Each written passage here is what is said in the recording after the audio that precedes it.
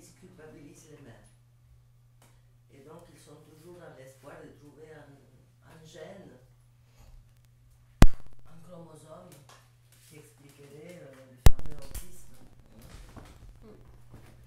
C'est pour ça que je veux nuancer quand il est question de la mère, pour ne pas donner prise à ce genre de critique.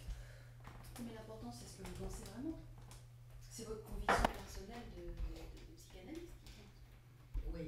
faut le contourner un petit peu. hein, Et présenter la mère comme. Ce qui est vrai aussi, c'est-à-dire que la mère elle est, elle est aussi euh, aux prises avec quelque chose qui, qui est trop réel et qui la, dé- la dépasse complètement. hein. Vous savez qu'on peut plus, dire la théorie psychanalytique comme ça, franchement, aujourd'hui, on peut plus dire les choses euh, vis-à-vis du grand public. Sur ce point, il faut faire attention, je trouve, parce qu'au lieu de. Au lieu de, de rendre service à la psychanalyse, on donne des arguments pour se faire, euh, pour se faire attaquer.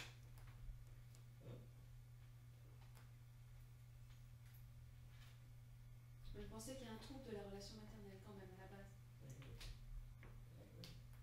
Et comment est-ce qu'on peut expliquer que ce, cette non-rencontre puisse produire de l'autisme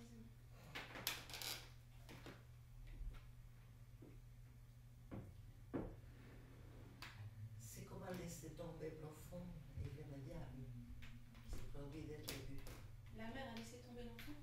Un laisser tomber euh, quelque chose qui fait faillite au niveau de l'amour. au niveau de l'amour. Au niveau de l'amour, ouais. Les, les mères n'aiment pas l'enfant. Quelque chose de la. Oui, parce que c'est l'amour, c'est, l'amour de, de la mère qui fait passer tout ça du côté de l'enfant. Qui introduit l'enfant dans le registre de la demande, du don, de la séparation avec l'objet, de la cession de l'objet.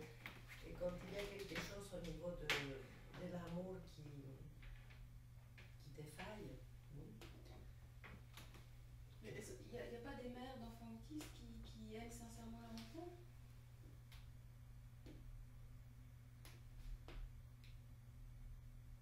elles vont vous dire qu'elles adorent les enfants. Mais vous pouvez vous apercevoir que l'enfant est en train de, d'exprimer quelque chose et qu'elle est absolument absente, qu'elle n'entend pas, qu'elle le fait. L'autisme de l'enfant, c'est, une conséquence d'un certain autisme de la mère à l'égard de l'enfant. Je vais vous dire une chose. J'ai reçu une petite fille autiste. Elle avait 9 ans, elle ne parlait pas. Elle faisait des bruits horribles,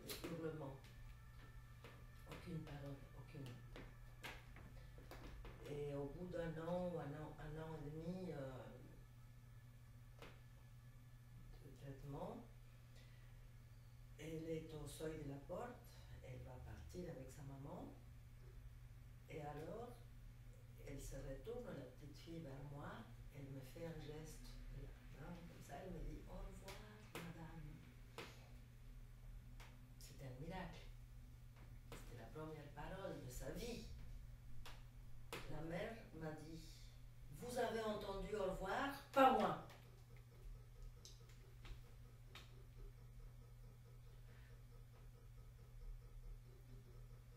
Là, il y a quand même quelque était peut-être jalouse.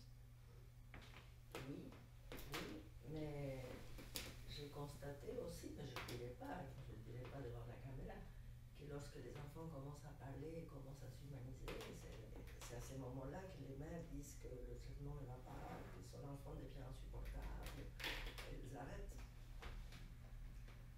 Il y a quelque chose de l'insupportable du désir ou de la demande de l'enfant peuvent supporter un enfant qui hurle toute la journée, qu'on n'entend pas, on fait comme si on n'entendait pas, et ne supportent pas un enfant qui dit euh, je veux pas ou je veux. C'est-à-dire un enfant qui se détermine comme étant euh, un sujet en dehors d'elle, Mhm. différente d'elle-même. Mais pourquoi ils agissent comme ça Parce qu'il y a quelque chose qui ne fonctionne pas chez elle, quoi. Il y a un insupportable de. Avoir un enfant, c'est- vraiment se confronter à la perte. Hmm. On pense qu'avoir un enfant, c'est l'expérience de l'avoir formidable. Non, avoir un enfant, c'est se confronter à la perte. De- depuis le moment qu'il sort du corps de la mère, on a perdu cet enfant. Hmm.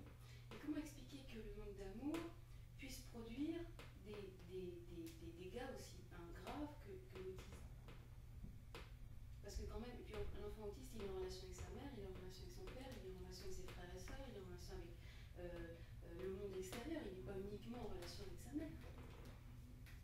Oui, mais quand il est tout petit bébé, euh, Bah, Mais même le petit bébé, il n'est jamais uniquement en relation avec sa mère. Si, en général, s'il ne communique pas avec sa mère, il ne communique pas non plus avec les gens autour de sa il mère. communique avec personne. Non.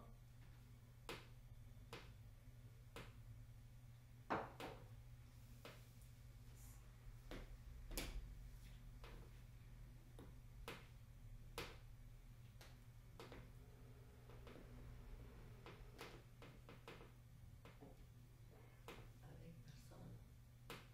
Ça ne passe pas. Il reste hors sens. Et le père, il ne peut pas aider dans ces cas-là?